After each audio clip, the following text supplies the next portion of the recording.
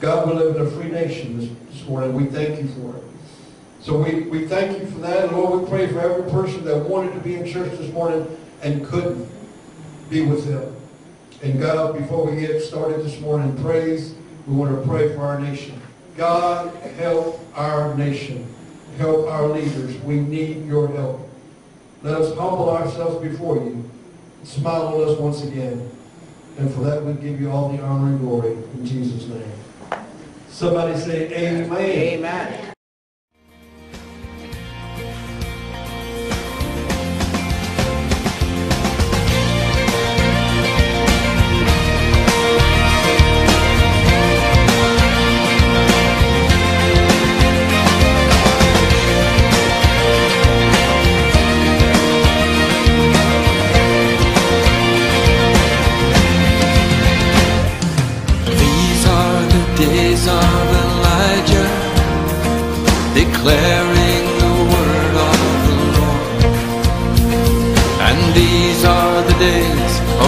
Of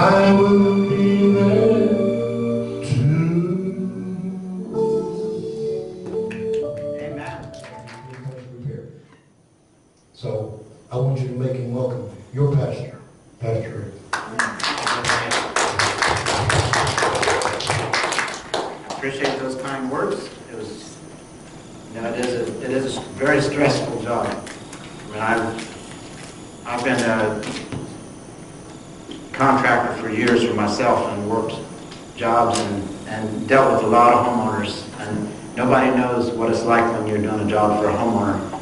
And uh, they're, they're just, you know, they're watching every single move you make. I mean, everything you do, you know, I was, I was telling that another man the other day, I said, you ever go to jobs and there's sticky notes when you leave the job, there's sticky notes the next morning, about 100 of them everywhere. And uh, and bless the housewife, she has gone around and she is picking your job to death and you're not even half done yet. So uh, they're, they're making sticky notes. Why does the drywall look rough? Well, we've only put one coat on and it takes three coats, so be patient.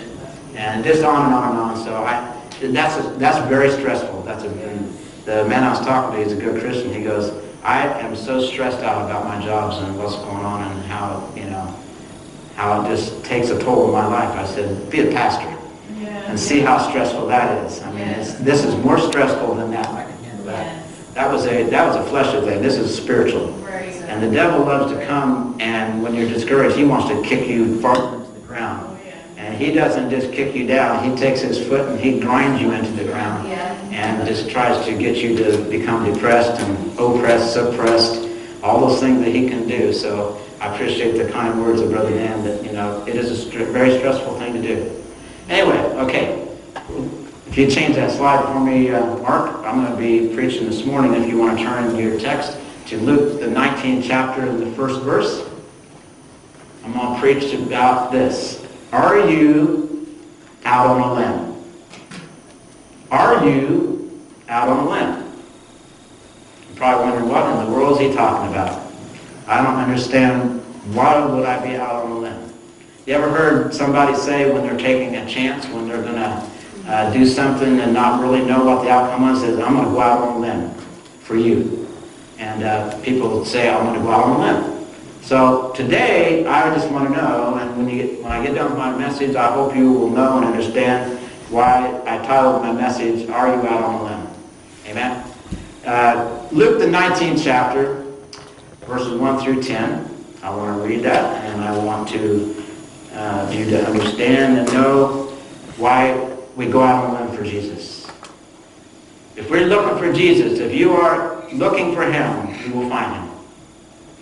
If you're looking for life abundantly and the new things that only God can do in your life, you've got to go out on a limb. You have to step out into by faith and go out on that limb to know that you will find Jesus. And you'll get in a situation where you know that if you get there and you find that one place where he's going to pass by, that you will find him. He will come by and you will get to have a relationship with him. I'm talking about a relationship this morning with Jesus Christ. Amen? Everybody found it yet? Luke 19th chapter and the first verse. And Jesus entered and passed through Jericho. And behold, there was a man named Zacchaeus, which was, all right, hold on. All right, how many knows that Jack, Zacchaeus was a wee little man? How many learned in, in Sunday school? A wee little man. A wee little man was he. All right. There was a song that I learned. I learned about Zacchaeus when I was real little in, in uh, Sunday school. My Sunday school teacher, our children's church director, would get us all together and we sang a song about Zacchaeus. And the song goes, and you guys sing it with me. Zacchaeus was a wee little man, wee little man was he. He climbed up in a sycamore tree, his Savior for to see. And as Jesus passed by, he looked up in the tree, and he said, Zacchaeus, you come down, for today you'll sup with me. You never heard that as a kid growing up? It was a song about Zacchaeus and about him climbing up in a sycamore tree to get to see Jesus when he came through Jericho. Said he was a wee little man, so he must have been, you know, not, I'm taller than he was. I know that. So don't, get that thought out of your mind about the stature and tallness right now. Get that, get that completely out of your mind. I know he was only this tall, okay? He was a wee little man, all right? So we need to get that out of our minds, first of all. But it said he was a wee little man. And he climbed up in the tree because he wanted, Jesus was coming. And he was looking for something that he didn't have. He was looking for a hope of someone that could do something for that no man could do. I see Zacchaeus, a man that was not happy. He was, he was rich. He was a tax collector. And how many loves tax collectors? Come on, every hand should be up in this place. You just love your tax collector. If he would come to your house and say, oh, come on in. Come in and sit down. I've made you a meal, and I've got, I've got drinks and everything. Just come and, you know, we're just going to have a good chat. If the IRS come to your door, knocking on your door, you know, you're going to open up and just, you're going to welcome them and just say, come on in, and you can audit me, and you can take my money away. You can have it all. Right? Wrong. Okay, so I just want you to see that Zacchaeus was not well liked. Matter of fact, he was more or less hated by people because he's the one that when you heard a tap on your door, he was there saying your taxes are due and I'm here to collect and you better have it. If you don't have it, I'm taking, see your finest animal out there, see your, your stock, your whatever, I'm taking it away from you because you owe it and you have to pay. Okay, so he's come to take something away from you. Well, how many knows that uh, IRS, you know, kind of maybe takes people's money away and, and, you know, a lot of times it's money we don't have to give. So I see Zacchaeus, one that took money and he overcharged and overtaxed people and took their money. Okay? So I want to paint you a picture of Zacchaeus and who he was and what position he held. He was a man of authority and he had authority when he knocked on your door. You knew that you had to obey him because he worked for the government. Okay? All right, so it says, which was the chief among the publicans, and he was rich. And he sought to see Jesus, who he was, and could not for the press because of his little of stature. And he ran before and climbed up into a sycamore tree to see him, for he was to pass by that way. And when Jesus came to the place, he looked up and saw him, and he said unto him, Zacchaeus, make haste and come down, for today I must abide at thy house. And he made haste and came down and received him joyfully. And when they saw it, the people, listen to this, they murmured, saying that he was going to be a guest with a man that is a sinner. First of all, the Pharisees, the people did have, they had no dealings with Republicans. They did have no dealings with them because they were unclean. They were defiled. Anybody that wasn't of the select of the Sanhedrin, of the court, of the Jews, was rejected. And you definitely didn't go eat with them. Okay? And Zacchaeus stood and said unto the Lord, Behold, Lord, the half of my goods I give to the poor. And if I have taken anything from any man by false accusation, I restore him fourfold.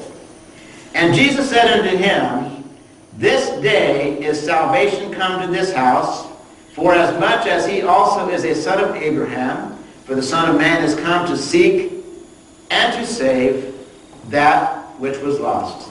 Lord Jesus, I come to you today, and Jesus, I just know that, believe, God, that when you looked up in that tree, that you already knew, Jesus, that Zacchaeus would be out on that land. That he would be looking for something that no one else could do but you. And Jesus, he was waiting and watching for you and anticipating you walking by so he could just see you.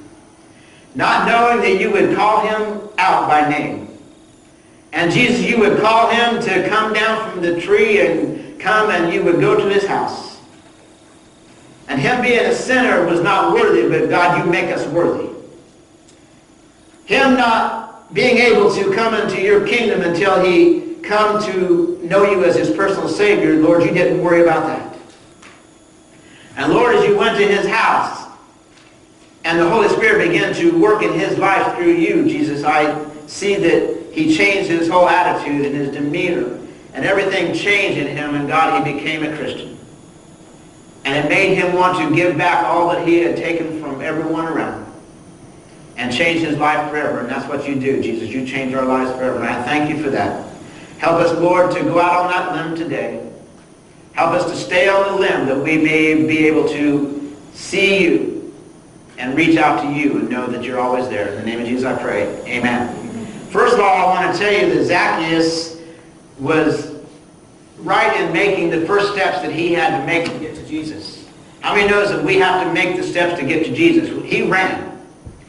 Many times we see people when they get in trouble or they've got trouble in their life, they don't run to the church. They run the opposite direction. They don't run to Jesus and they run to the things that they know. And if they know anybody that's got some money, first thing they're doing is going to that person and say, I need help. I need you to help me right now. I'm in a situation and I don't have any help. And if they turn their back on him, then they go to the next thing and the next thing. And what if it doesn't work? And then they say, well, you know what? I don't have no choice. Now I got to give Jesus a try. Amen. I want to be able to go to Jesus in the first place and say, I know where my redemption is. I know who my helper is. I know who my Jesus is, that he's got all the resources in heaven to come to my aid. I want to know that. Zacchaeus, like many of you, I was first exposed to Zacchaeus because I knew who he was because just a little song. It's a cute little song, but it tells me that he was looking for Jesus, and we needed to look for him at a young age and be able to come to him and know that he was the one that would redeem us and save us from our sin. So that song, growing up, was small in our life, but it became large and huge in my life because I knew that I needed to get out on the limb to find Jesus. I had to step out. I had to get out. You've got to walk towards Jesus. You can't just run the other way. If Zacchaeus would not have ran and found a place because he couldn't get in because he was small of stature, but he couldn't see over the crowd, so he just knew that if I get to that tree that I know that's up the road, I can run around the people and I can get up there and I can climb up in that tree. And I can get up on the limb where I can get to get a good glance at, just Jesus. I don't know who he is. I don't know what he does or how he does it, but I just know that if I get to Jesus, that it's all going to be all right. I'm going to be okay. He had confidence just to know as a sinner, still yet, before he met Jesus, he didn't know, but he just had, he had enough faith to believe that if I can get and just see Jesus, that it'll be all right. I don't know about you today, but I need to get where I can see Jesus and know that it's all right. I got to go to where I know he is, and I got to get on my knees, and I got to pray, and I got to supplicate before him to know that he is the very thing in my life that I need. Yes. You need him today. The devil come to tell us, you know what, you're your own person, you're your own man. Look at all the world. They don't serve him. They get along just fine. Go to these neighborhoods and see how they live. I mean, they've got everything. Yes, they do. Because one day it's all going to be gone and they're going to find themselves if they don't get saved. And with all the money they got, they'll be the poorest people on earth because we're going to be rich. We're going to have a mansion in heaven because God had already prepared for us. Come on. Amen? Amen. Well, I want to tell you a little story about a guy. There was a guy that went to the doctor's office for a physical. The nurse asked him his weight, he said, I weigh 150 pounds. She had him step on the scales, and she said, you weigh 200 pounds. The nurse asked, well, how tall are you? He said, six feet tall. She measured him and said, you are actually five feet five inches tall. She started taking his blood pressure and he said, how can you expect my blood pressure to be normal? I came in here as a tall, slender guy and you've already made me short and fat. So he said, how can my blood pressure be normal? So the world sees us in a, a light that we are. When the world looks at you, it doesn't matter what your stature is. It doesn't matter if you're seven feet tall, six and a half feet tall. It doesn't matter if you're six feet tall or you're five foot four. Okay? Jesus does not care about your stature. Your stature comes when God looks at you and measures a man. The measure of man is who you are and, and not how tall you are or what you've accomplished in your life because the comes on this earth do not mean nothing to God.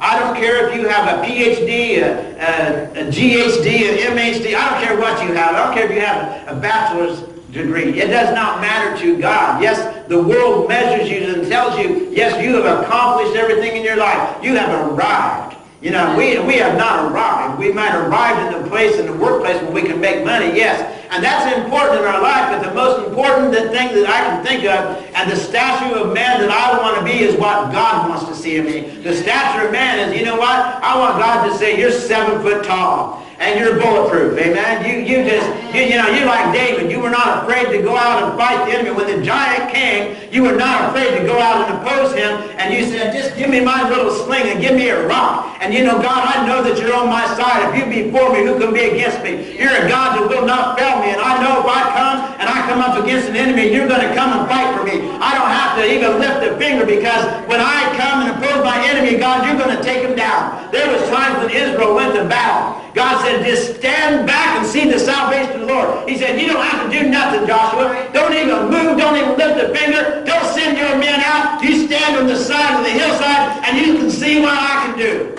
God would bind them. They would slash themselves up. The Philistines cut themselves to pieces with their own swords because God blinded them, made it sound like there was an army all around them. You know what they're doing? They're just swinging their swords and they're killing each other because God did that.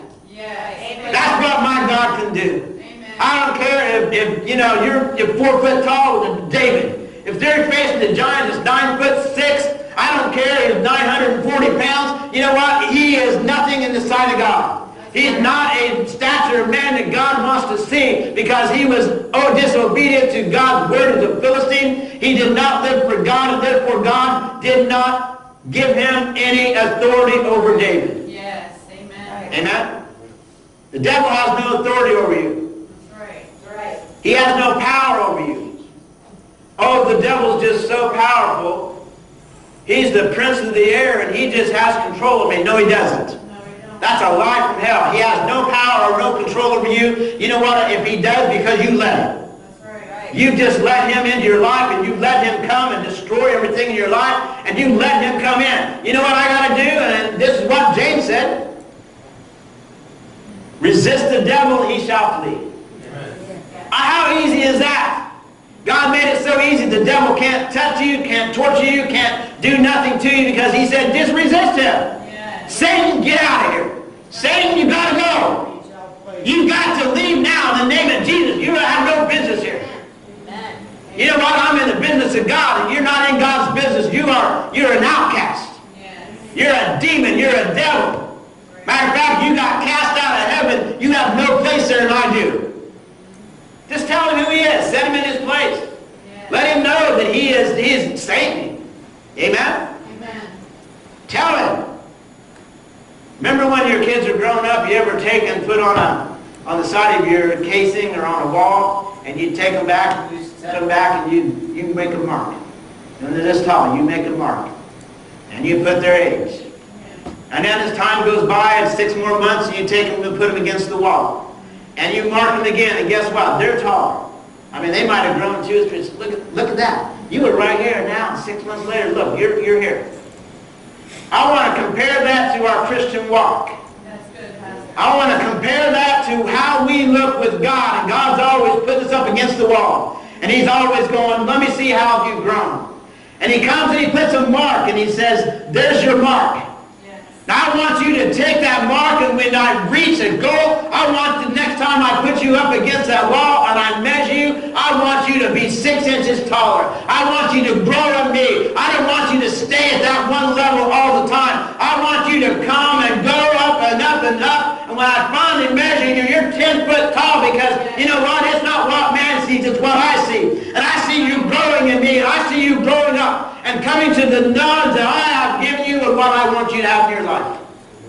If you don't grow, it's your fault because we haven't got into our Word. We haven't studied our Bible. We have not got any deeper in God. We have not get, given anything to God in our life. We've just gone on the same old path, same old way, doing the same old things, and nothing's ever changing. We're still at, you know, same mark when he first checked us years and years ago. We have not grown because, you know what? We do not allow ourselves to grow. All right. Preach that, Pastor. I heard in China, I guess you guys know if this is true, but they take the children's feet and they bind them. They wrap them up real tight. They don't, they don't want their feet to grow. I don't know why. but They don't. And they bind their feet and they bind them up and wrap them real tight and they don't grow. When they want them to grow, they loosen it up and let them grow, but they tighten it back up and they keep them, their feet from growing. I just heard this. I hope it's true. I, I, I, amen. I got a confirmation right over here. Amen. Praise the Lord. All right, I feel better. All right. All right. I want to take that and put it in our spiritual book, in our spiritual life, our spiritual walk. I want to mark this down as what this happens is we take our, our lives, our spiritual lives, and we take and we bind it up and we hold it and we wrap it and the devil even helps us. He comes and says, here, let me help you. Let me help you wind it a little tighter. Let me, let me help you get them bindings on there so you can't grow for God. And I'm going to keep you the same as you were 10 years ago. And I'm not going to loosen them bands up on you. Now, if you want to come, you want to do it, go ahead. But if you don't care to do it, and you just keep on keeping it bound up and it won't grow. Yes. We keep ourselves bound up in the same old thing. The things of life and the things that we do and what we do, we never change nothing. We never let the bindings come back off of our feet, off of our spiritual feet, and we don't let it grow because we have decided that we just want to stay in the same place and stay the same size. Shame on us. If we don't grow, if we don't keep growing in the Lord, how is God going to look at us and say, somebody that doesn't care if next year they're the same as they are this year. Or, you know, they were the same as they were 10 years ago. They've not done nothing for me and not accomplished anything because they're just standing still. Rolling stone gathers no moss. A stone that sits idle will gather moss, it'll grow on it, and it'll just become green and terrible. Okay? But if that thing's moving and moving, and moving, it can't, it can't get nothing on it. See, what we do is we allow the world to just keep coming and putting things on us. We're not moving no more. We're not making any motion. We're not doing anything. So what happens? The world just comes and we stay in one place and we're just stuck right there. What happens? The world comes and keeps applying things and putting things on us and putting things on us and we're not moving. We're not doing nothing. So what happens? We get stale. We get decayed. If water's not moving, what happens? It grows, the moss grows over top of it.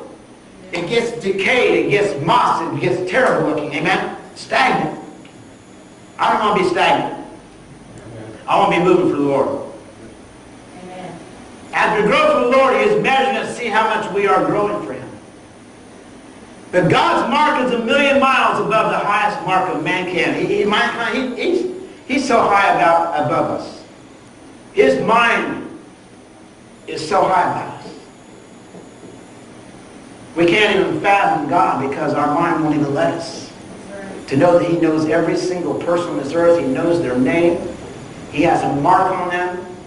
And He knows who's His and He knows who isn't. Amen? Philippians 3.14 says, I press toward the mark of the prize, the high calling of God in Christ Jesus. Are you pressing towards the mark this morning? Are you going out on a limb for Jesus? Are you doing anything that is not the norm in your life because we get to where we just want the norm? We don't want nothing to change because it, it gets us out of our sync of the world and the things we do and we've got an agenda, we got a, we got a schedule to keep, we have an agenda for the day. And I don't care, God can't even change it. Oh, heaven help us. God can't even change my agenda for the day. You know what that's saying? God can't even sink the Titanic. Boy, were they wrong, weren't they? They should have never said that.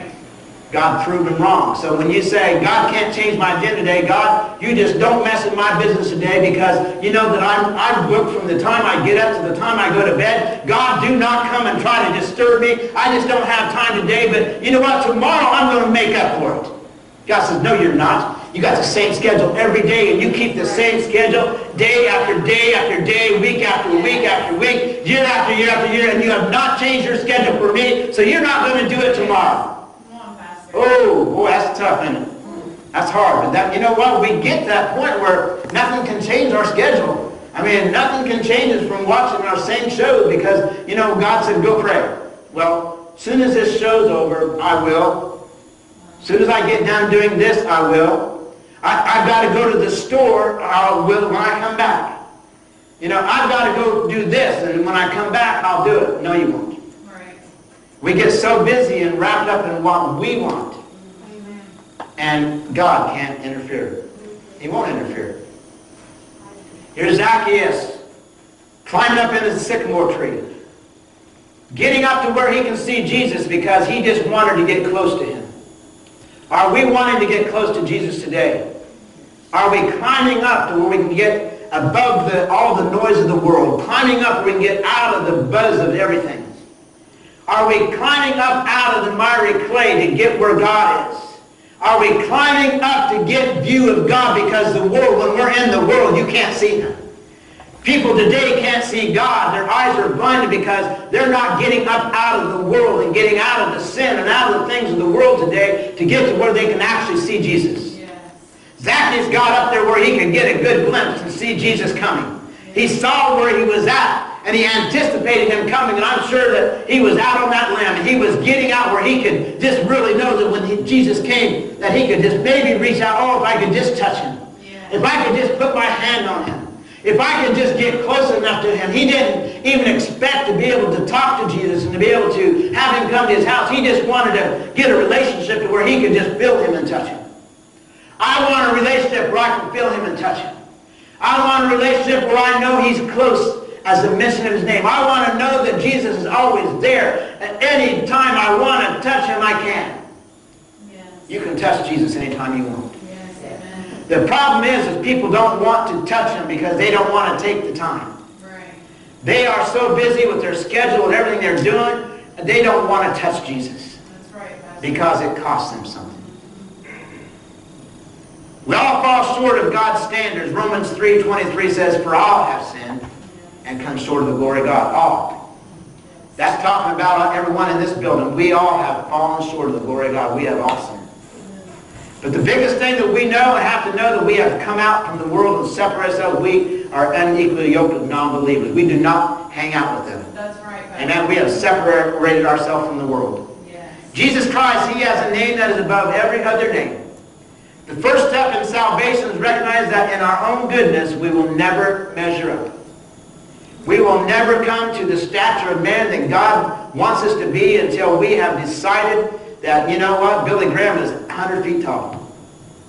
We look at people in their lives that have not changed and they have kept their standards for God. And they have done, they went out when they were sick, when they didn't feel like it. They have preached to the people they didn't want to preach to or go to places they didn't want to go. People, missionaries that go to other countries that don't want to go, but they've got a calling on their life, and God has called them out and told them, and they know it's God saying, you've got to go. And they have went. That's the ones that God said, I, you're 100 foot tall. Your stature is so tall with me, and you know what? I measure you as a man that's after my own heart, just like David. Yes. Amen? Amen. Zacchaeus was rich, but he wasn't happy. He was rich, but he was not happy. Money cannot buy you happiness. Yes. Amen? I want to just, you know, it's, it's a sad, sad thing what, what happened to Robin Williams. It's very sad what he did. He had money. He had fame. People loved him. Everywhere he went, people would flock to see him because he was a celebrity. But see, he couldn't deal with his life because he wasn't happy. The things in his life made him sad. Even though he could make you laugh anywhere, everywhere he went, he made people laugh. He could make them laugh, but inside he was not laughing.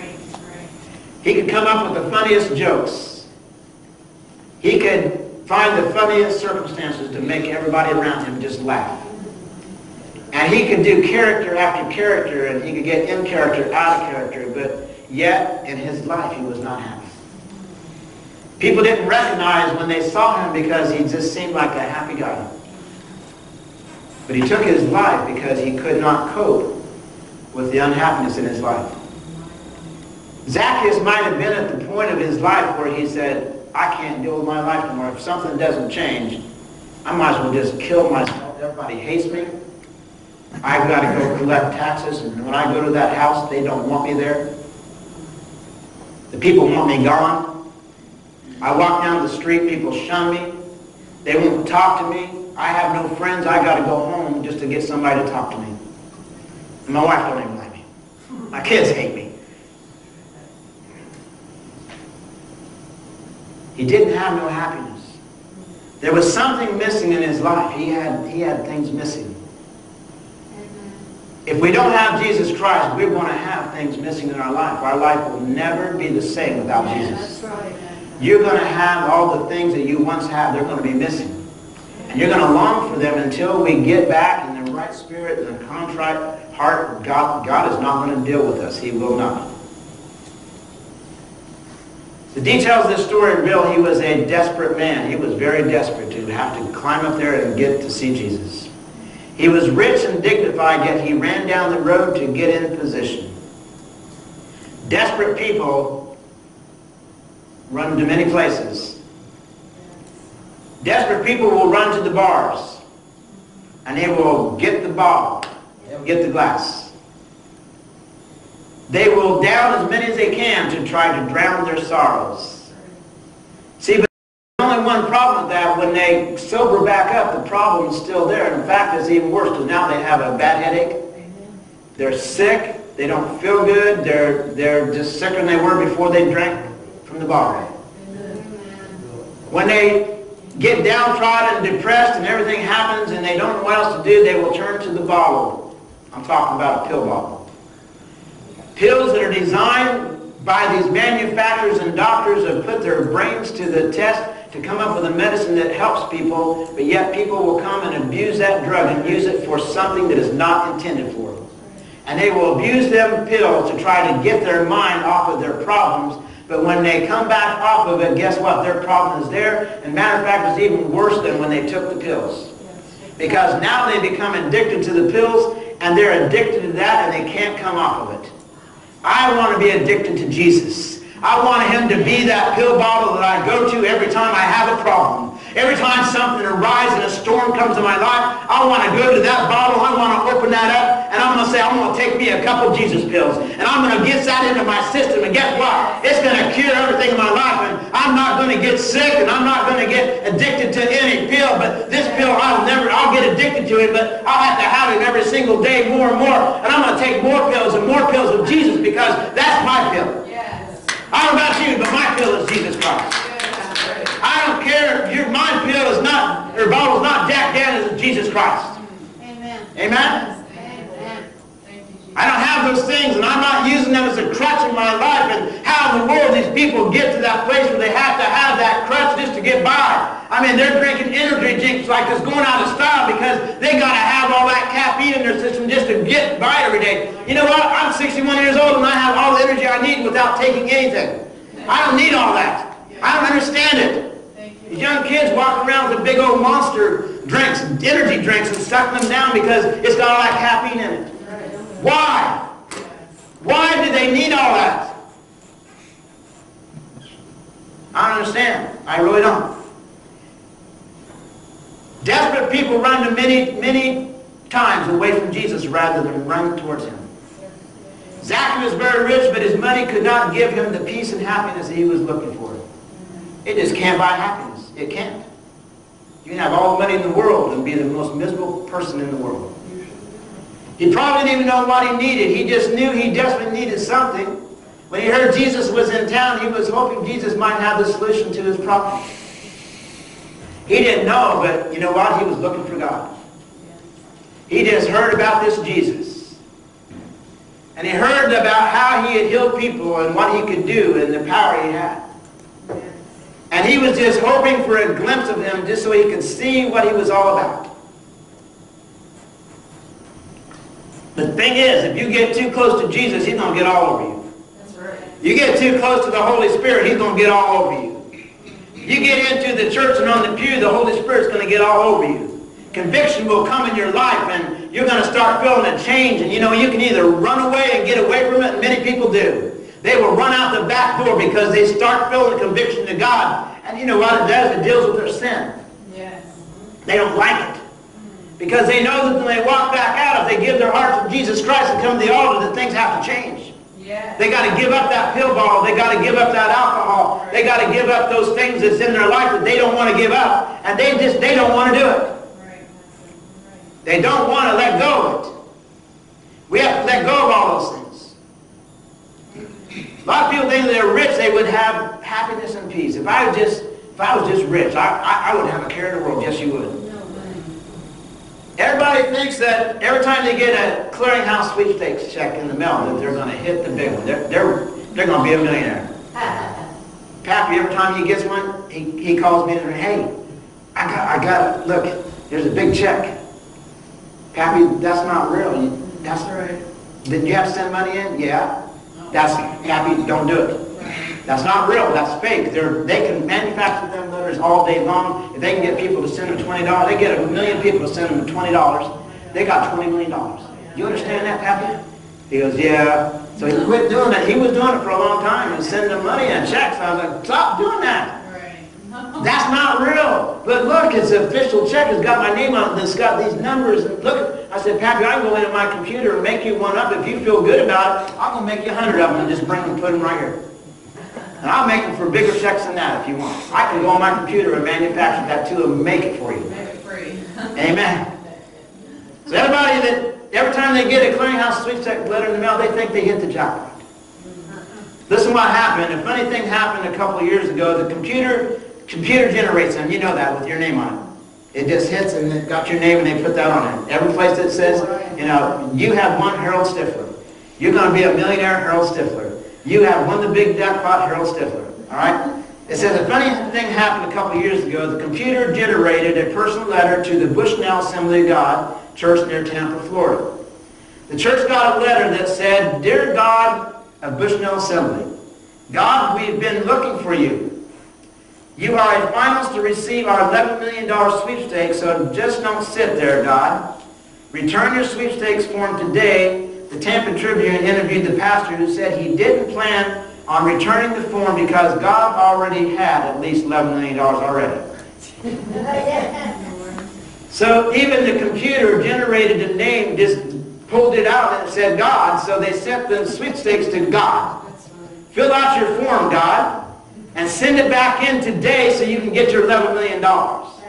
You know what? God would laugh at that. He's got zillions of dollars, trillions of dollars. He'd say, you know what? I don't need your earthly money because I have all the heaven and I have the splendor of heaven and everything that's here. I have more gold in heaven than anybody's ever seen. You can accumulate all the gold on earth and not even come up with even a fraction of what I have. That's right. Amen?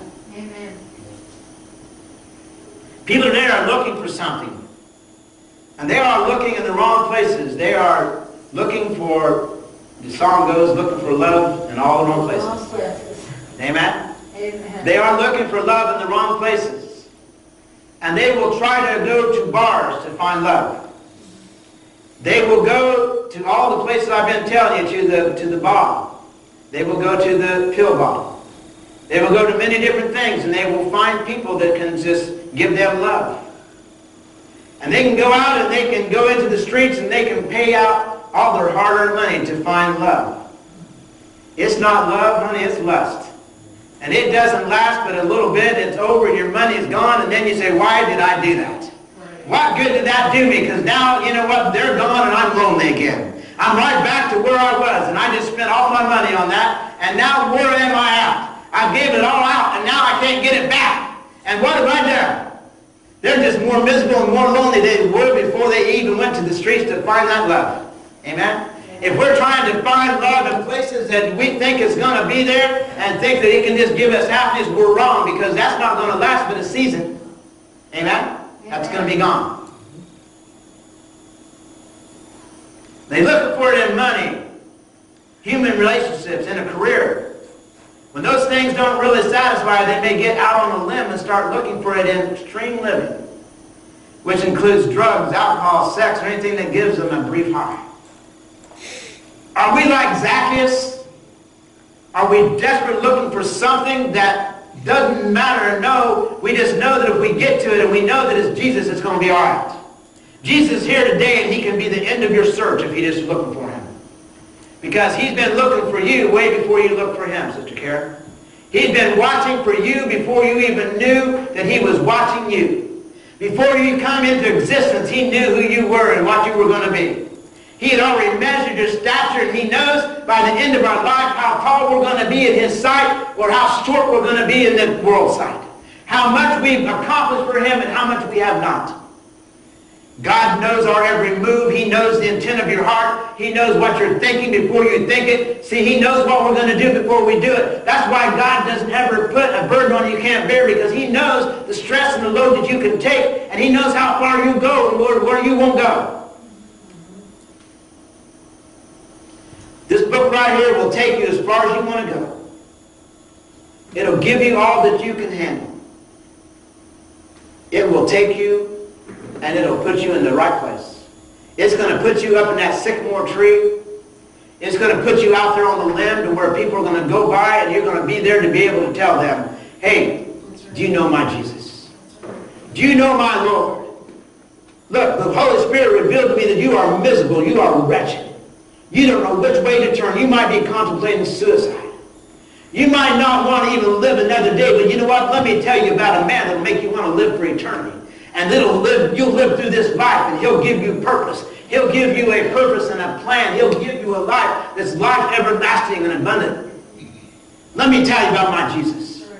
You got to get out on that limb, and you got to step out on the limb sometimes when God tells you to. You can't just stay down where you're at because you're in the miry clay, and you're not getting out to where Jesus can use you, and you're not getting out on that limb.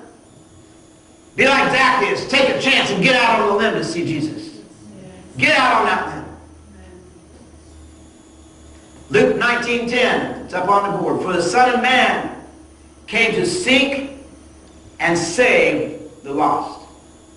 He come to save the lost. He come for no other reason than to come and die for your sin that you may be able to be found. Before the Gentiles could not be found to God and God did not recognize them at all until Jesus Christ came. From the day he died on the cross and his blood touched the ground, it made it so that his blood was sufficient for all the sins of the whole world. And therefore he come and had to teach his disciples that, you know what? What I have made clean, I have made clean. He had to tell Peter that, you know what? I've made clean is clean. And you cannot look at them as dirty no more. Those things I've cleaned up and made right, and that's you and me. He said, I have made them clean enough that they may come into my kingdom. And then he had to take Saul, and he had to knock him off his animal, and he had to bind him for three days. And he had to take him and show him in Damascus what was going on and what he needed to be for the Gentiles, that the blood of Jesus Christ therefore came and made him a, a minister to the Gentiles, they may be saved. Look what God can do if you get out on the limb for him. Paul had to go out on a limb because people hated him. They didn't trust him. They didn't want to, they just, they ran the other way. They seen, they seen Saul coming. They ran the other way. Matter of fact, the Christians, even when they saw him, oh, he's the one that's killing the, the Jews. He's killing us. He hates the Christians. No, he's converted. Oh, no, God, you better tell me he's converted. or Rather, I'm, I'm getting out of here. Because he's going to take me and he's going to kill me. See, Saul had to have a conversion in his life. He had to get out on the limb. He had to get out on the limb where Jesus was and to believe upon him. And Jesus come and he said, Saul, Saul, why persecutest thou my church? Why do you persecute my church? You know what, what Saul said to him? Lord, Lord, I didn't know. I didn't know I was.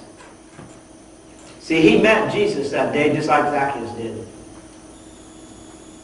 And he was up on his horse, up on a limb.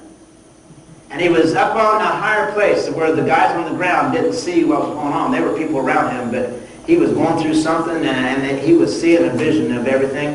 And God was just opened up and revealed it to just him. And he blinded him because this reason. People say, why did, why did Paul get blinded? God closed off all his sight to the whole world around him. God shut him out of the world and just wanted him to see what he wanted him to see. Here's our problem. Let me, let me get down and tell you what it is. Our problem is that we see the picture of the world around us. And we see all the wars. We see all the things going on around our world and it, it just downtrods us. It makes us worry about our lives. And he wanted Saul, which was Paul now, to see just him. Just to see what he wanted to see, so he blinded him.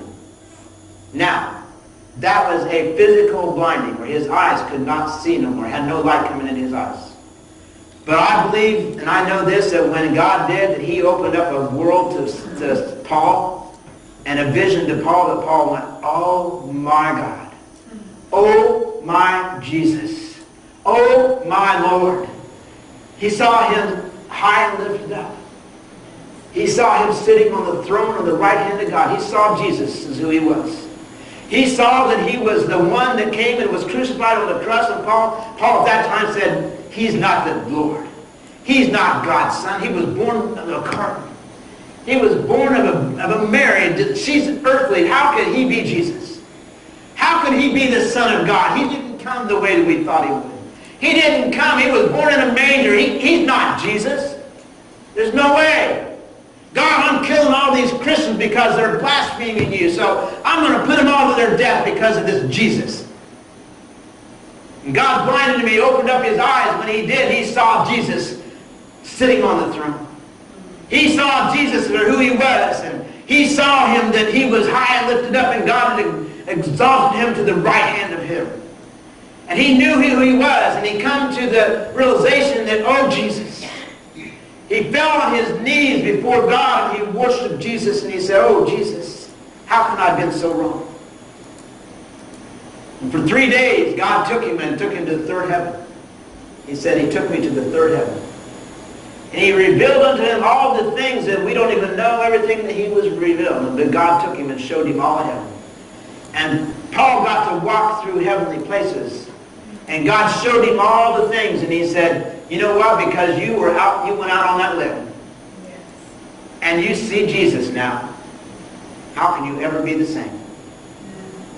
When God put him back to Damascus and they took him and they showed him the things and said, this is now Paul, our brother. And he's come to be a evangelist, a pastor, a teacher for the Gentiles. They just still didn't want to accept him because they were afraid of him. You know what? I don't know about you, but I know that Jesus doesn't make any mistakes. That's right. He had a plan for Apostle Paul, Saul, when he was a child. And he knew what he would do would be raised up in a home that they were Pharisees. They lived by the law, and he was taught the law.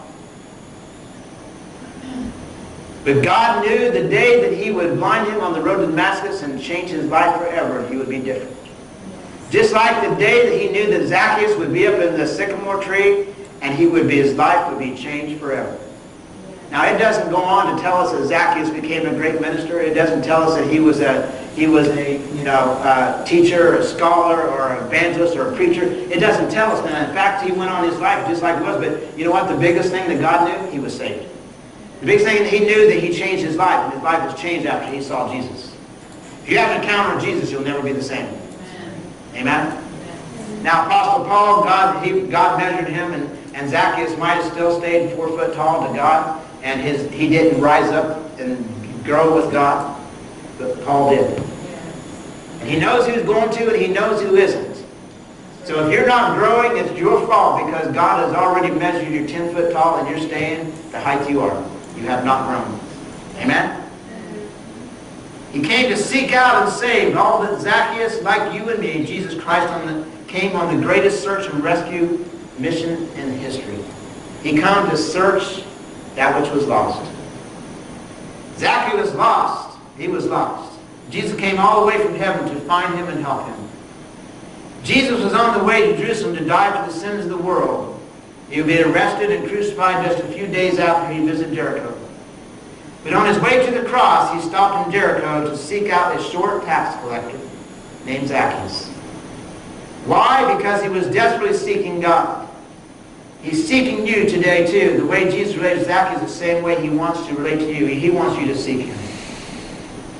The first word Jesus spoke to Zacchaeus, he called him by his name. He said, Zacchaeus. I'm sure Zacchaeus probably fell off that limb when he said that. He's probably like, how, how'd you know my name? How do you know I'm Zacchaeus? How did you know that? And then it probably clicked, oh, but he's Jesus. He knows everything. He can do all things. You don't have to wear a name tag for God. He already knows your name. You don't have to wear a name tag around saying, hey, God, it's, it's me. It's Pastor Rick. Ron wears one around and says, God, it's Ron.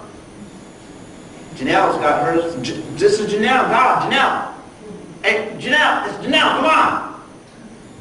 Speak to me, God. It's Janelle.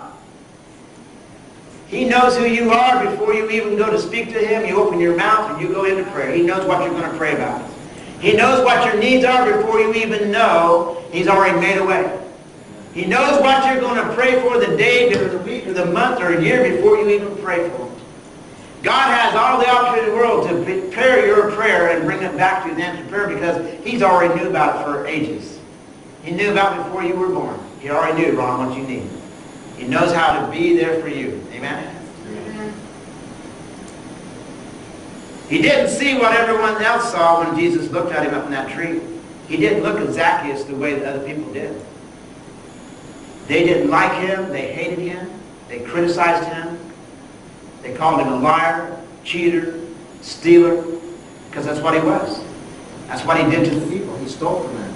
He lied to them. He cheated them. Jesus didn't see that. He didn't see what everyone else saw. Do you know what the name Zacchaeus means? God knew this before when he was named Zacchaeus by his mother. It means pure. Yes. Jesus didn't see a crooked tax collector. He saw a man who could become pure. When he saw you and your sin and when you were running the bars or doing whatever you did when you were younger and doing the things you knew you shouldn't do, you were you had two bottles in your hand and you had a pill bottle and an alcohol bottle. And you just didn't let go of neither one of them. God knew that you were gonna who you were gonna be when you had that in your hand and people go, ooh, that, they're not going to heaven, look at them. There's no way that God can take them in heaven, look at them. But God said, but I you see who they are, but I don't know who they're going to be. See, he knew who Zacchaeus was going to be. Are you willing to be a tree to lift people above the crowd so they can see Jesus? Come on. Let's put it on, the, another perspective. Can, are you going to be the tree? Will you be the tree that is set and planted for God where he wants to put it? He takes that tree and he plants it where he wants it that people can climb up on the limbs and you're the tree and you have the limbs and they can climb up on you to see Jesus and they know that if they just get to you that they know they can reach Jesus from that tree and you are always in this right place in the place they know you're going to be because you shall not be moved just like a tree planted by the water. I shall not be moved. I shall not be, I shall not be moved. Come on. I shall not be, I shall not be moved. Just like a tree planted by the water. I shall not be moved. I shall not be, I shall not be moved. I shall not be, I shall not be moved. Just like a tree that's planted by the waters. I shall not be We can't be moved all the time. We've got to be able to be steadfast for Jesus Christ every time the wind blows. You know what trees do? They go in and they grow big, long roots that go down in the ground.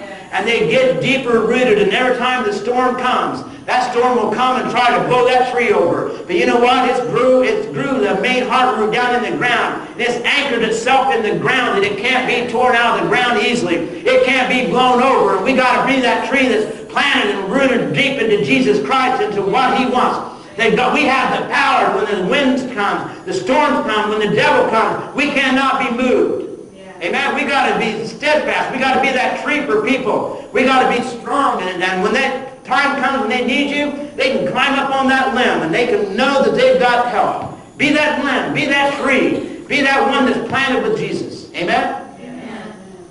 I realized a long time ago, I realized this.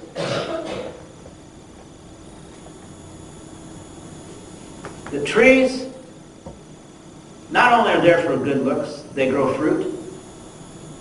There's a lot of pretty trees that don't have fruit. There are Christians that are just trees. And they're, they're okay. They're a good tree, Emma. I mean, there's nothing, nothing different about another Christian that's a tree. And all trees. Some trees will bear fruit and have fruit on them. And they will have beautiful fruit. And people just, everybody sees the fruit and say, man, boy, that wrong. Look at the fruit. Look at the fruit on his tree. Look at that. He's got all the fruit. And they'd be desirous, they come desirous of that, and they want it also. And they, they come to you and say, hey, tree, how do I get fruit like you on my tree? And it's easy to say, Jesus Christ. Amen. Didn't you know Jesus can give you all the fruit you need? He has the fruit of the Spirit. Just go and, and get it. And he goes to the carriage tree and say, man, the gifts, all the gifts are on that tree. Look at all the gifts. She's got all the gifts. And they say, we want the gifts. How, Sister Karen, how do we get the gifts on your tree? How do we get those? Into Jesus. Jesus. Get into Jesus. So I realize that we're all going to be a tree for Jesus if we're planted and rooted, grounded, then we're not going to be easily tossed to and fro with every wind of doctrine. Amen? We're going to be planted on a solid foundation because we're with Jesus and we're planted. But trees will have different things on them, and I want my tree to have the gifts. I want the fruit. I want everything to be on that tree that people look at and say, wow, Amen. God has really blessed that tree. God is blessing that tree. You know, our job is to be that tree for people. We can save, we can't save people, only Jesus can. Yes. But we can lead them to the tree where they can climb up in the tree and find Jesus. What would have happened to Zacchaeus if there hadn't been a tree there that day? Let me tell you. God had planted that tree and put that sycamore tree exactly by that road. He knew. See, listen. The tree might have been put there a hundred years ago, planted. Because God planted this tree because he knew that one day there would be a road leading through Jericho. And that road would come right beside that tree. And they would make a road, and that would be the main path for everybody to travel. But that tree was right there.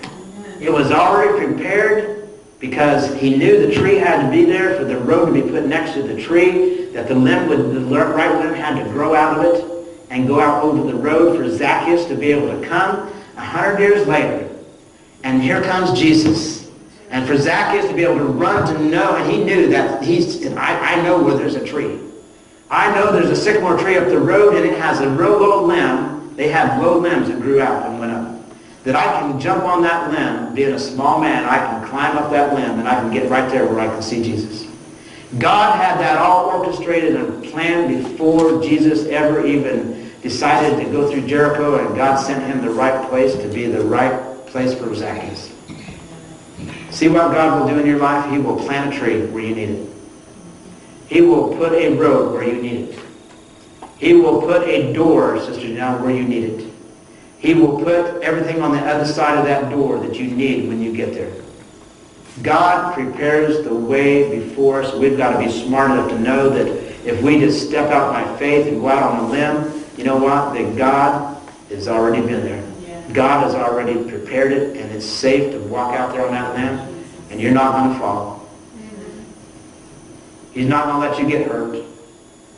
He's not going to let anything happen to you. Because God is your protector. He's your provider. Mm-hmm. Amen? Amen. The good news is that God had planted a tree just in the right spot so Zacchaeus could see Jesus. Has God planted you somewhere that it seems your job is to simply lift someone up so they can see Jesus also? So are you out on a limb for Jesus to help him seek and save that which is lost? Are you? Or are we just busy about our business and our everyday life and our everyday problems that we can't even get out on the limb to see Jesus? We don't even care if we go. We're not going to climb that tree. We're not going to go up there. You know what, God, you know what? I'm not going up on that tree. I don't climb trees. You don't have to climb the tree if you don't want to. Today I want to climb that tree. I want to climb higher and higher every day to see Jesus. You know, if you got into the rainforest and you got in there and you were trying to get out, you didn't know which way to go, you were lost. You didn't have no directions, no compass whatsoever. But see, the rainforests, all, they all grow the same height and they have a plateau, a big, huge top on them. And if you would get in a tree and find a tree that had lots of limbs, you could climb that tree and you, as you climbed higher, as you keep going up, you can see more clearly. And you can get a view of things around you once didn't have. And when you get to the very top, guess what? If there's a city over here, you can see it. If there's a river over there, you can see it. If there's a mountain over there, you can see it. If you see things or you see people moving over there, say, ah, all I gotta do is go down, and if I go that way, I'm gonna head to safety. I'm gonna get to safety because now I can see. If we would just get out of the world, we would climb up on top of that tree, we could see Jesus more clearly. We would have a vision of what God wants from life. We would see that city. We would see Emmett, we would see the things that happens know it's going to be okay. We could have a vision that God has given us saying, Emmett, just climb top that tree and stay there and don't you move because you know what? I'm going to show you some things. I'm going to give you a vision and show you what you can't see when you're down here and down down where the devil is, down where the world is, down where the sin is, down where everything's happening. Get up out of it, and I'll show you. So I will tell you today that God says, get out of your circumstances. Get out and get up on the limb where you can see them. We've been down on the ground too long. We've been down in the world too long. Let's get out. Let's get out and do something for Jesus. Get out on the limb today, amen? I'm going to close at that. You're probably glad. uh, I want to tell you just one this is a true story. We were building a church in, out in Urbancrest, and I was, I think I was like 22, 24 years old. We were building a church in Urbancrest, and it was all wood frame. We had built the walls, had it up, and we put the trusses on, and we were sheeting the roof with plywood. And uh, there was a man, Pappy knows, his name was Roger Christmas. And he was working with us, and we had, we had, every other sheet we had let hang over four foot, and then you go back and cut them off. You just chalk a line, and you go back and you cut, cut the sides off and let it drop on the ground, you had to trim the edge of the roof. So we start at the bottom, and your first sheet is even, and the next sheet's odd. It's a, it's overhangs. Next sheet's even, because you got to split your sheets. You don't put the, you don't put the joints. It makes it weak if you put them all in the same truss. So you got to alternate them. So we alternated them, short, even sheet, hangover, even sheet, all the way up the roof line. We chopped it, got it ready. Roger got the saw, out there ready to cut it. I was went to do something else. I was busy. I was up on the other side of the roof and I'm working, nailing the top of the roof off, and I, I look over, I hear the saw running, and I glance over. He's on the outside of the plywood, cutting. So here's the roof, here's the overhang on the plywood. He's out here because he was left-handed. He was it made it easier for the cut because if it had been this way, it was going downhill. So he got out on the plywood. You understand what I'm saying? Yeah. He got out on the plywood, and he's cutting. I see him, I start yelling, Roger, Roger, no! Crash. He got halfway through and it broke. Down he went, about 15, 20 feet. Oh. The lucky thing was he didn't even get hurt because before that they had backed up a truckload of sand for the to do the it was a brick building so they were getting ready and they backed up and dumped a, big truckload of sand there. And he came down and landed in the sand. They didn't even get a scratch on him. But he got on the outside on the wrong side of the plywood and it became dangerous. And he cut his own self off the roof. Amen? Are we cutting ourselves off the roof today? Are we on the other side, on the wrong side of the plywood? Are we on the other side of the chalk line? Wow. Would, we should have been on the safe side of the chalk line and we would have been all right. You know, we could cut that off and we could just cut and let the sheets drop. There's no danger, but he got out into danger. Amen? And that's, that's a true story. Anyway, I, I, when I was preparing this message, the Lord brought that to my mind. That's been 35 years ago. God, boy, I don't think I had one. I just thought I didn't have a mind to think that. My thinking's not as good as it needs to be. My memory. Anyway, leaving it that, I just want to leave you with a thought this week as we go through our week. How far are we willing to go for Jesus? Are we willing to go out on a limb for him? Are we going to go out on a limb to find him? Because that's not just sitting in our chair at home. That's not just sitting there doing nothing and doing what we want. That's not just sitting there and watching the shows that we like to watch and entertaining ourselves with the world, worldly things. It's entertaining ourselves in godly and spiritual things, and that's going out on a limb. Because you have to go out on that limb to do it because the devil's going to say, don't climb that tree. You don't, you don't climb trees. You don't want to get in that tree. And it's going to go against your brain because it goes against the spirit. And the flesh will rule, amen? So go out on a limb this week. I'm just going to say, I'm going to go out on a limb this week. I'm going out on that limb. And I'm going to get out there to where I can see Jesus. I mean, I haven't seen him for a long time, and I'm going to go see Jesus. And when he passes by, I'm going to know he's there because he's going to look up and say, Rick, come down that tree for we're going to we're going to sup together. And I'm on a Holy Ghost fit, right in my bedroom. Amen. And uh, Cheryl goes, what is he doing? The Holy Ghost came in. We're, we're just we're having we're having a meal. We're eating together. Amen. So anybody, let's all stand. We're going to close. Anybody need uh, prayer this morning? On the streets of glory, let me this morning. Amen. We will too. All my life, every day of the week. Anybody need prayer this morning? I want you to be in prayer for uh, James. He's home from the hospital, but he's said he's still feeling pretty bad. He's just wasn't able to come to church this morning. Linda had surgery. Uh, so Johnny and Linda, keep praying for Linda and Johnny. Uh, God keeps healing her and touching her. She, she goes through a lot. Everybody, nobody even knows what she goes through.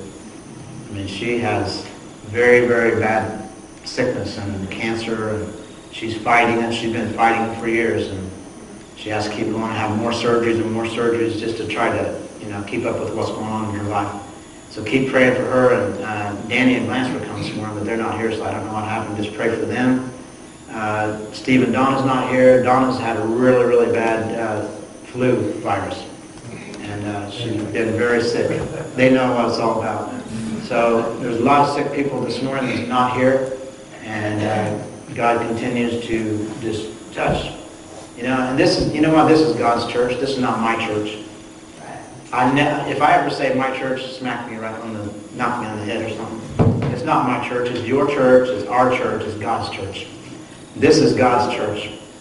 And I want to be a good steward over God's church. And I'm trying to be, and sometimes it's very discouraging, it is. I mean, I'll just be honest with you. Uh, and I just keep the faith because I know that God's faithful, and I just know that somehow God's going to God's going to do a miracle. He's going to do things here that we, and you know, the devil's fighting tooth and nail. Because he doesn't want to see, once we let go and let the Holy Ghost, and we come in one mind and one accord, I mean, I want to see people shouting. I want to see them running these aisles. I want to see Jericho march. I want to see people getting the Holy Ghost. I mean, speaking other tongues like, wow, what's that? Come on now, it's been around for over 2,000 years. Remember they went to the upper chamber and they got it? It's, it's still here. It hasn't went nowhere. It's for us. I want to see people healed. I want to see healings right here. Mm. I want to see people healed. I want to see lives transformed. I want to see marriages completely healed and touched and made whole. I want to see people just have a move of the Holy Ghost. Last God's still ready to pour out His Spirit if we'll let Him. Amen? But we have to let Him. So do that. Please pray about this. Pray about all the people that's not here. Anybody need prayer this morning? I don't want to miss anybody. If you need prayer, anybody? Good. Everybody's healthy and we'll be here next Sunday. Everybody's good. All right. Praise the Lord. Thank you, Jesus.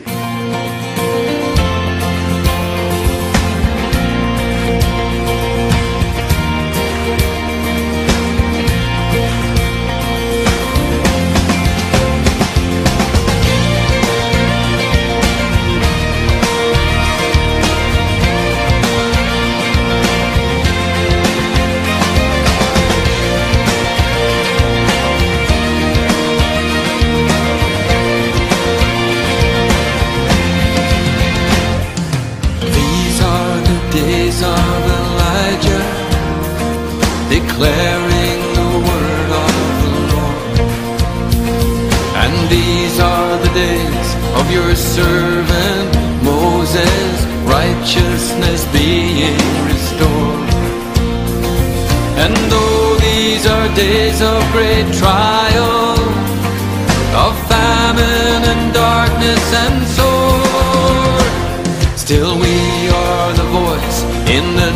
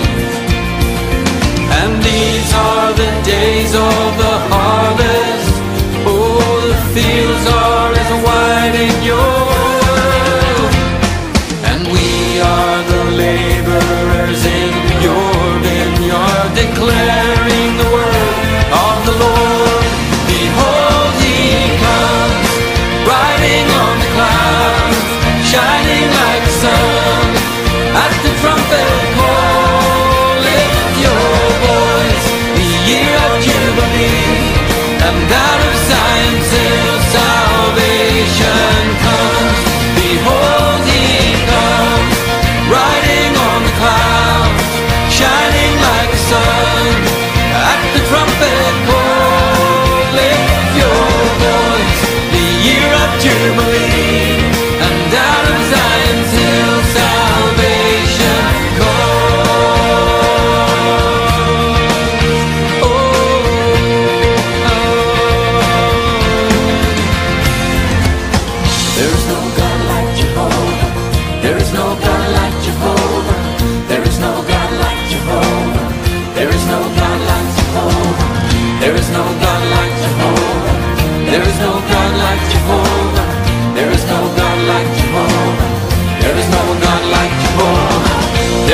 gone like